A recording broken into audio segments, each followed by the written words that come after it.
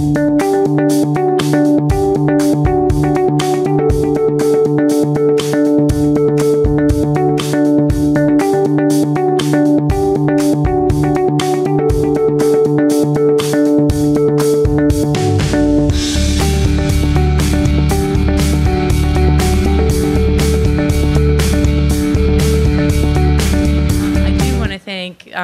Center for Agroecology and the University of Maryland Center for Environmental Science for, and the Planning Committee for putting on today's event. So thank you all very much.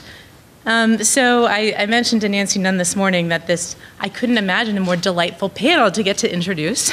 Um, we have Kim Coble, who's the Vice President of Environmental Protection and Restoration for the Chesapeake Bay Foundation. Bill Dennison, who is the Vice President for Science Applications at the University of Maryland Center for Environmental Science and Julie Pippel, who is the Director of the Division of Environmental Management for Washington County. So this panel is about focusing on next steps, and you heard a lot of ideas and flashes of brilliance today, right? So they're going to share with us some of their thoughts about the best ideas they heard today that they think will carry us forward into the future. We're hoping that this will be also some discussion with you all.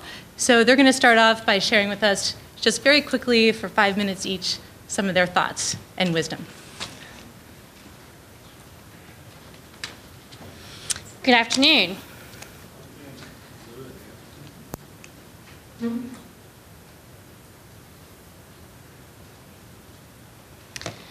So as counties, can you, so as counties move forward, we will need to focus on BMP availability to accomplish our restoration goals and continue reviewing ideas like the, those that were shared with us today.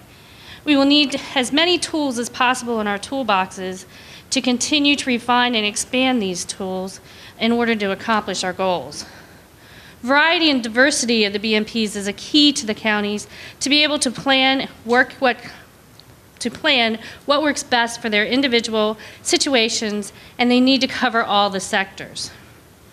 We'll have to review the existing practices and determine if they have changed their effectiveness and what impact that has had on the county's existing plans, both in a positive and negative form.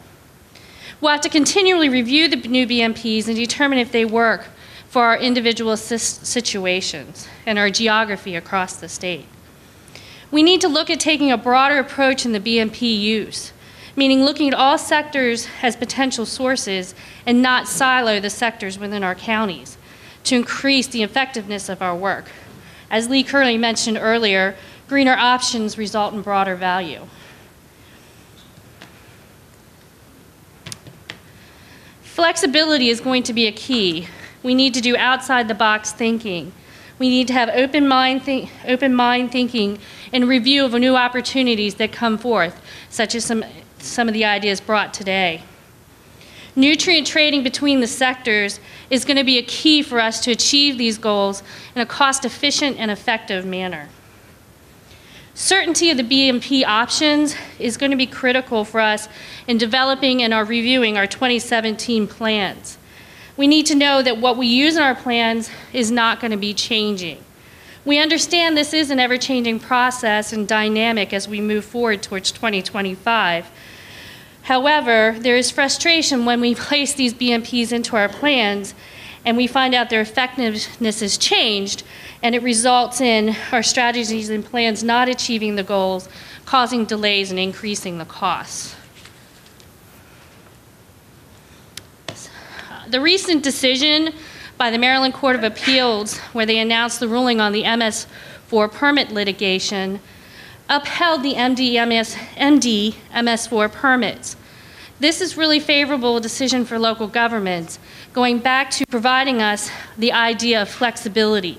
It provides us options for the local governments, especially when unknown conditions occur during the implementation of these plans and projects. Some of the challenges and questions the counties still have moving forward the MS4 permits are challenging to meet, and meeting the permit reductions will be expensive and strain or exceed county capacity personnel funding. So we need to continue working on ideas brought up from our finance, um, environmental financing group. Nutrient credits, while this is a helpful and very much needed tool, we need to understand what is the true capacity availability for trading uh, from all the sectors. Financing. We appreciate that the BRF funds will continue to support or continue to provide money towards stormwater practices. The question is, what is the capacity of this funding versus the need of the stormwater sector? Also, we need to look at the regional issues which impact the 2017 milestone loading allocations, not only regional but also local. So for example, on a regional level, we discussed the Conowingo Dam this morning, its impact and how to, how to address its restoration needs.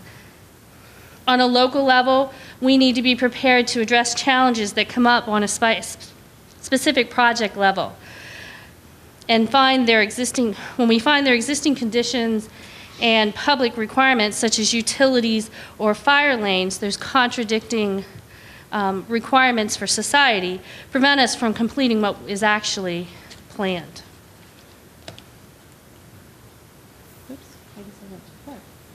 Um, in closing, the state and county has been recognized as leaders in the TMDL efforts.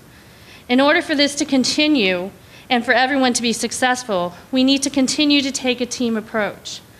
We express gratitude for Secretary Grumbles and his staff for recognizing this key factor and look forward to continuing this approach. Also, legislation, excuse me, legislation is not always a benefit and can lead to enforcement consent agreements, which only delay and increase the costs associated with accomplishing this work on the county level. So as we move forward, we feel that continuing discussions and idea sharing, as we did today, is an important part as we take our next steps forward.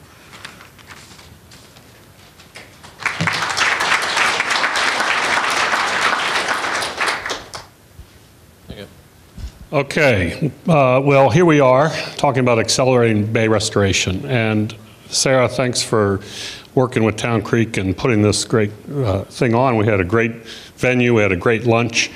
Uh, this morning we talked about John Smith, Pocahontas, and notice uh, there's John and Pocahontas, and Don, Don Boesch was at the at the at the, the moment there, and Don talked about you know when he, he you know he here he is getting ready for the the event, but when he dies, he wants his ashes to be spread and doesn't want it to go into the dead zone. So, so that's the marker we have to work toward. Uh, and Don said something very important about the transition from low-hanging fruit to the tough nuts, and we're, we're all about the tough nuts here. Ben Grumbles uh, decided to put himself in the middle of this trading world and try to figure out how to accelerate bay restoration through effective market forces. Uh, ben also is trying to hold back the water from the Susquehanna coming over the Conowingo as much as possible. Uh, and Ben had a great quote from Pogo We are confronted with insurmountable opportunities. Rich Batiuk came along and talked about this, this miner in the coal mine with the canary, and the canary being the dead zone. So, so this, is, this is a good measure. We, we, we can see if we can shrink that dead zone. Lee Currey talked about how we shrink the dead zone through implementation of reduction of nutrient sources like point sources, and non-point sources. If you notice when Lee was asked any questions, he, he, he became the president of the Department of Passing the Buck. He passed it off every time he could. Stuart Schwartz talked about leaky landscapes, in particular the uh, What's green isn't always good on the surface, that you need the brown underneath to percolate and get the water to go away. Dan talked about uh, being an NPR lover, but we had to reach beyond that, so he went to the churches and the schools in PG County, which I think is a really important thing that we often talk to each other. It's good to, to move beyond. Uh, Sadie uh, Drescher talked about laying awake at night, worrying about bay restoration progress. And I think the solution is to think green. I think that's what will get you to sleep. Dan talked about uh, uh, for um, for the Pretty Boy Reservoir watershed talked about eco-smart initiatives like taking turf to trees, stop mowing the lawn, and, and some great ideas along those lines. Ward Slacum and his colleagues at the Oyster Recovery Partnership have this vision of a restored oyster reef bay with all these important positive feedbacks. And I think that's a theme that we see throughout is these, if we get the right trajectories going, we get positive feedbacks happening. Stephanie came up here and talked about chicken manure turning it into biogas. She also talked about sustainability initiatives with, with big companies like Walmart. So there's some real uh, synergies that you can create there. Rebecca Fox uh, talked about the Choptank watershed and then a whole slew of, of interesting agricultural uh, practices like ditches and bioreactors, cover crops, precision ag, all these things that farmers are experimenting with to do better for nitrogen phosphorus sediments and ultimately soil type and crop yield. Judy Denver took a look underneath the ground and talked about groundwater and, and flows uh, on Delmarva and cover crops and irrigation trends that are going to change this, this map of nutrient flow through the groundwater.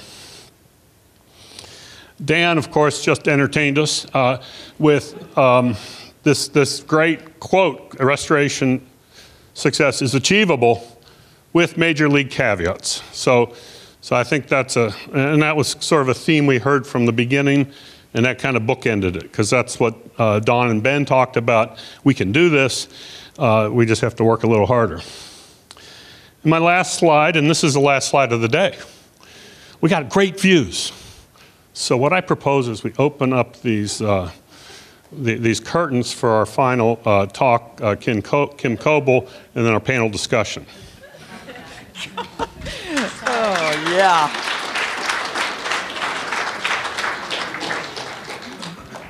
Yeah, I, thank you, Bill. I hate following you. Um, I'm not even sure how to start. Um, so, probably in two minutes, actually, I, I want to tell you the three uh, take homes that came to me today. Th- what, what matters based on what we heard today. And um, there's three things that matter, according to Kim Coble. Yeah, write it down, Jenny. Local work matters. We heard some very inspiring and effective stories at the local level. We heard about work in the Pretty Boy watershed. Prince George's County's doing fabulous work. Anne Arundel County. We, we heard about work at schools and even at churches uh, in the Choptank River. And that, that matters. That all that little work matters. It may feel that a rain garden or a rain barrel Really, is that going to move the needle? It all adds up. And I don't think we can diminish the, the magnitude of that work when we start putting it together, both from a nutrient uh, reduction standpoint, but also from a um, uh, creating the, the the, the concept of success and that we can do this. I think that that attitude carries and it's pervasive. So wo- local work matters. The other thing is smarter work matters. And this is where we learned about the importance of targeting our work. Uh, Dan spoke very eloquently about the need for efficiencies with our dollars. For every dollar, let's maximize the pollution reduction that we're getting from that. That's critical. In this day and age, in 2016, given the work that's ahead of us, we no longer have the luxury of tossing money around. Not that we ever really tossed it, but uh, in, in terms of smarter work matters, how we're, we're going to give credits. These need to be verifiable and accurate so that the reductions that are happening are meaningful and right and also fair to those people that are putting them in the ground. We want to get those right offsets, trading, we cannot lose ground. It's daunting to look at the increasing population growth and everything that comes with it, uh, climate change and everything that comes with it. So we need to make sure that those trading and offset programs are in place so we can counter it, and innovation. Uh, we heard some really good examples of smart innovation, whether it's the public public-private partnership or the digesters or whatever it is, those um, innovations are smarter. Local work matters, smarter work matters. And then the last thing that struck me about today is that tenacity matters. You know, just the hard work that's ahead. It is not easy, and unfortunately, it is not going to happen quickly. Uh, you know, we heard from Judy about the long t- lifespan of groundwater and how it's going to take a long, long time before we're going to see the changes. Um, Rich Batiuk was really positive about the changes we are seeing. I think we need to celebrate those. That's part of being tenacious. It's to look at what you can celebrate and be positive about and stay diligent about the other parts. The science is evolving. While we're the most studied ecosystem in the world, our science is evolving, and we have to be patient about that. Um, the the um, BMP effectiveness, the soil health, precision ag, all those things are evolving. And lastly, I think being tenacious is also holding ourselves accountable. Uh, we, we need to make sure that progress continues, that the politics line up, the funding lines up, the attitudes line up, and then we can celebrate the progress. So, local work, smarter work, and tenacity all matter.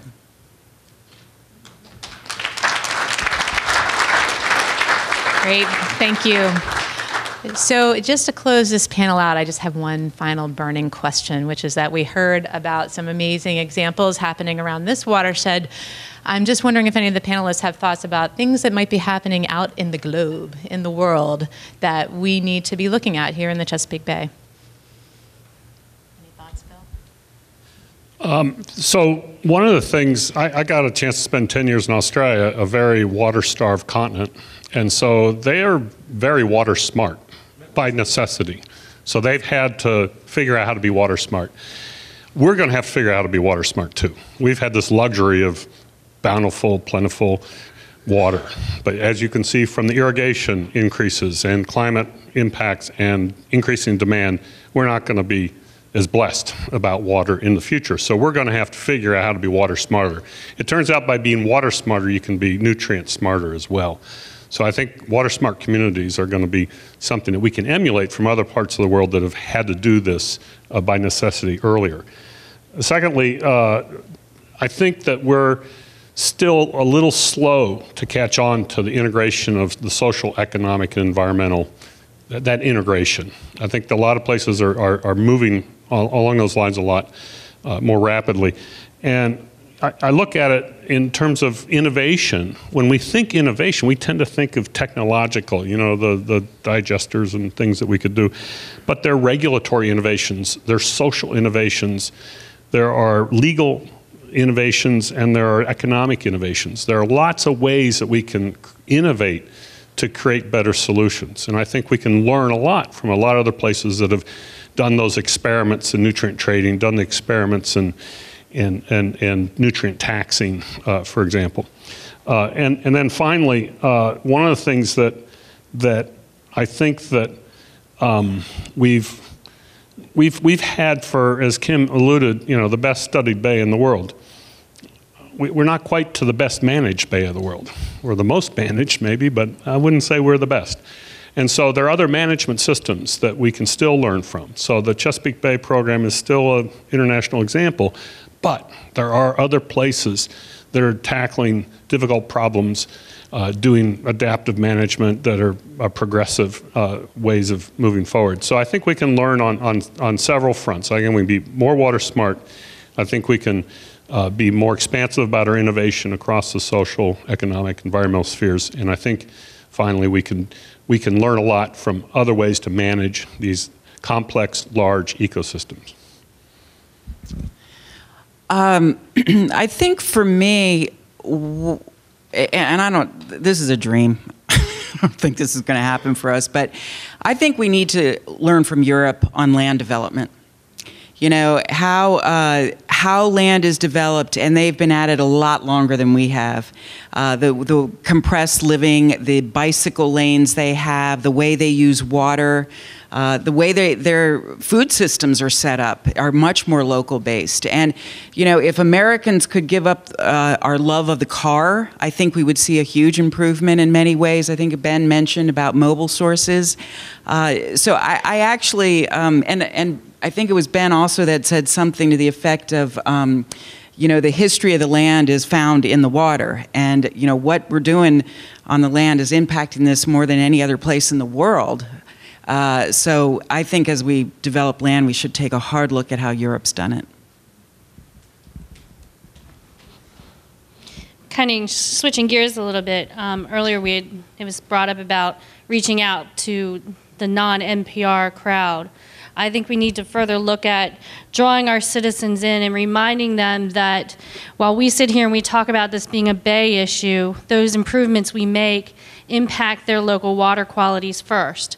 So for people in Western Maryland who don't necessarily think of the bay and its importance to the to the state and the environment, you can draw them in by making them realize and understand doing this gives them that local impact um, and learning how we can get those citizens involved.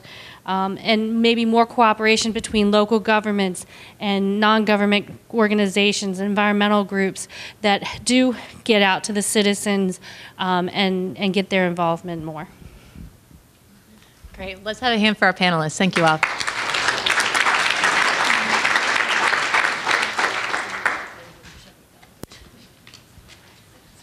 Well, haven't we had a full information-packed day of nuggets that we can take with us as we go out and about?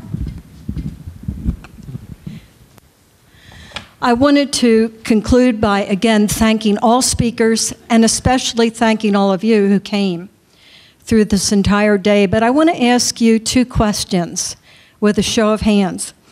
The first question is How many of you did any ice skating when you were a kid? That's quite a lot. The second question is When you knew that it was your last time that you could get out on the ice, with your skates. Did you skate really hard and explore all of the area that you could skate in because you knew this was going to be your last? How many of, of you might have? Oh dear. Well, thank you, Dave. well, I sure did. well, I sure did. I skated the heck off my ice skates and I went even where the ice might have been thin, and my mother would have just fainted if she had seen me. But I think we're there. I think that's the tactic we need to take. We need to put on those skates, and we need to view this next snippet of time, which it is, and skate our, our ice skates off as hard as we can and explore different tactics, some of which you've heard here today, whether it be a project or a process. We need to explore them to get to where we need to be. And there's lyrics to a song that some of you might remember. This is it. Make no mistake where you are. This is it. It's all of us.